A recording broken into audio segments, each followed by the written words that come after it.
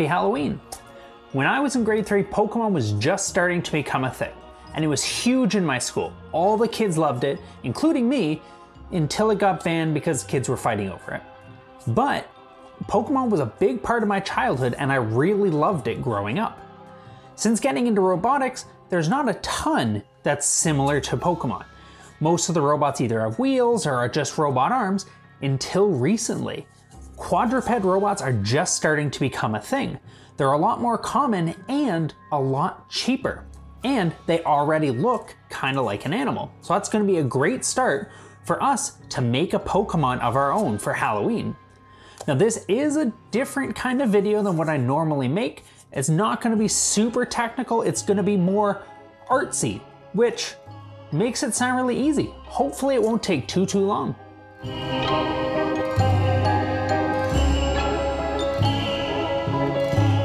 We're gonna be dressing up Max the robot dog.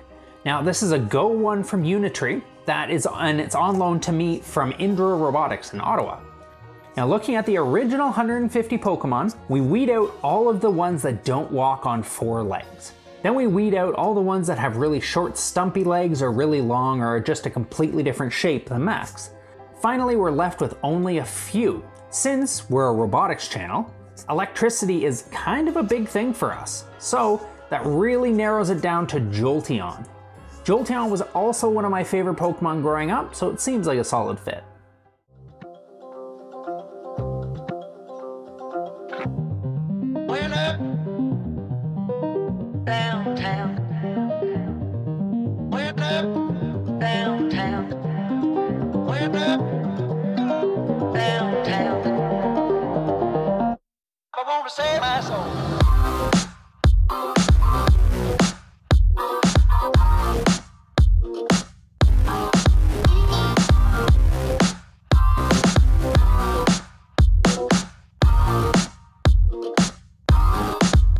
So we finally got everything printed. It took about 200 hours of actual printing time to get this done. I had to borrow another 3D printer just to be able to get it done before Halloween. So what I'm gonna do is just use super glue or CA glue and glue it all together. I'm gonna try to do the important bits first, like the face, the eyes, the ones you're gonna look at the most, because 3D printers aren't super accurate, so they don't fit together perfectly or maybe the print kind of came off the bed a little bit, so the flat edges are actually rounded, so they're not gonna fit together amazingly. So I'm gonna focus on the important areas first, and then we'll have to fill in all the areas that didn't fit nicely.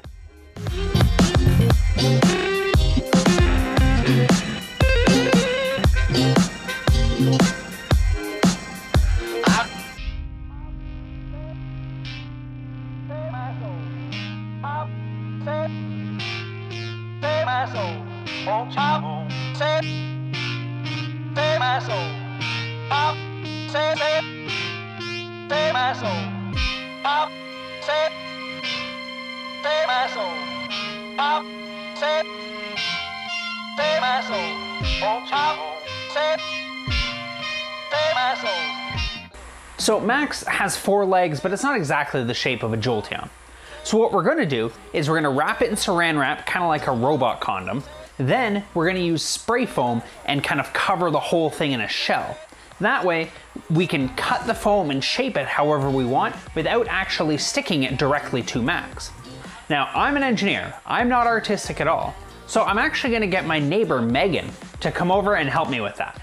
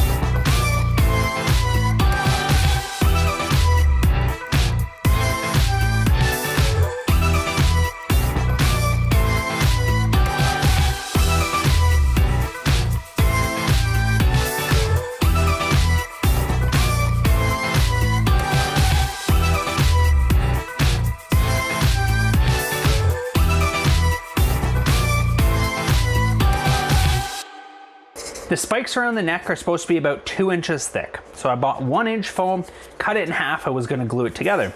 I tried using wood glue, that didn't work at all. So I'm just gonna fall back to good old Super 77. That should have no problem gluing these together to make them twice as thick.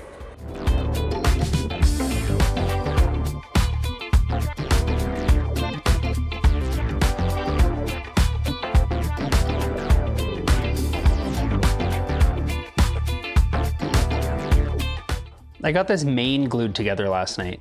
It was a giant pain and a lot of me just kind of experimenting, so I didn't really record any of it. But I basically cut these shapes and tried to glue it together, but because my manual cutting is so bad, none of the pieces line up at all. So then I had to put little wedges in there and then use some of the Super 77 to glue it together. And it looks like it worked. This didn't work at all.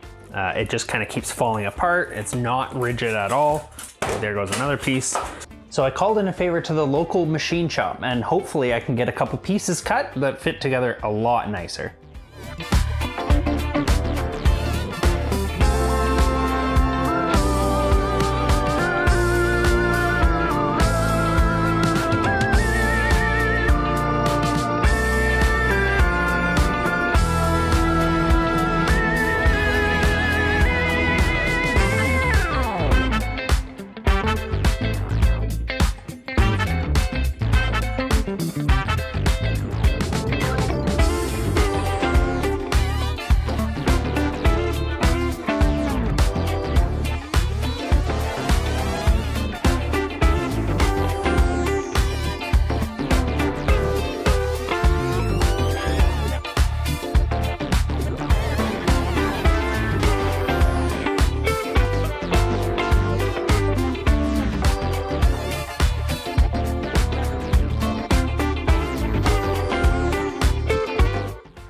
We got all the limbs wrapped in this material. It's not perfect, but it's way better than the hot garbage that it was before. That looked terrible.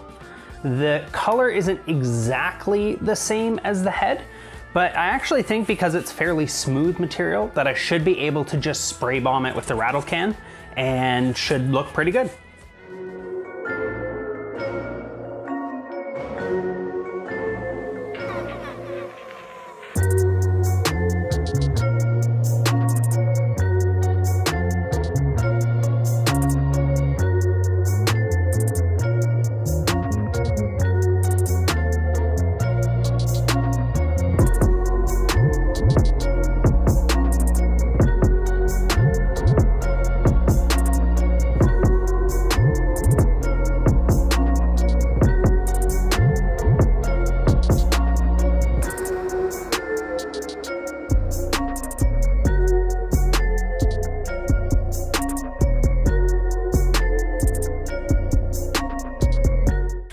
Had a ton of fun doing this project, but it was actually way harder than I thought it would be. There was a ton of little details that I didn't even think of until the end. If you watch channels like NerdForge or Adam Savage, they make it look so simple, but that's just years of experience.